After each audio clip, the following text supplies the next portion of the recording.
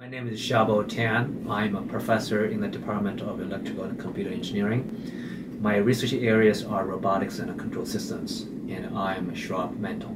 So we uh, work in the area of robotics and control systems, and um, some of our work has involved underwater robots that are fish-like, and uh, we utilize these robots to serve as sensing platforms to gather information from water, such as water quality, such as movement uh, information about invasive species.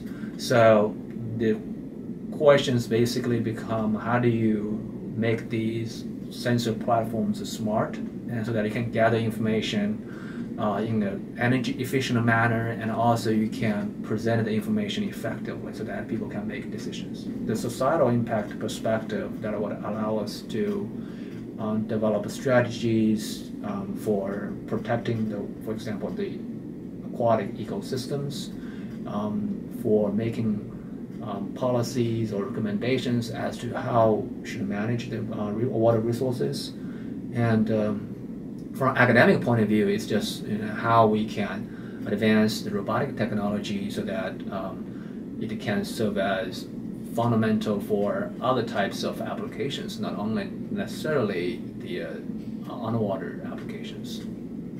I was very happy to see the um, not just the research but also overall professional um, development activities. Those uh, those have had significant impact on the maturity and uh, their uh, training over the summer. Um, over just about two months, I can see how they have developed significantly um, in the lab and also at other uh, on other occasions, uh, including the final dinner. Um, that, that, that fun night, I was very proud of them. So I've really had a very good luck, fortune to have worked with two great students over the summer, um, Edwin and um, um, Andres, uh, both from the University of Puerto Rico, and they have shown um, great mastery of fundamental knowledge, but also um, creativity and willingness to work with people and with different uh, subjects. uh, I would say cross-disciplinary uh, uh, problems. So I think the suggestion I would give to future um, uh, students is to basically have open mind and collaborate with people.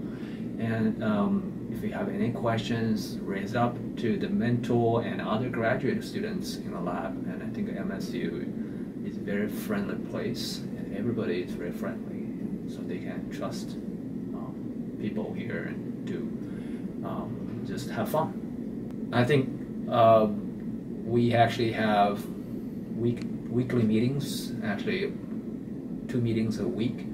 Um, sometimes I'm just so surprised by how fast they have already advanced. I wouldn't say a single proudest moment, but I would say multiple times I would I was pleasantly surprised by basically how they have interacted with other students and they have produced the results I didn't expect.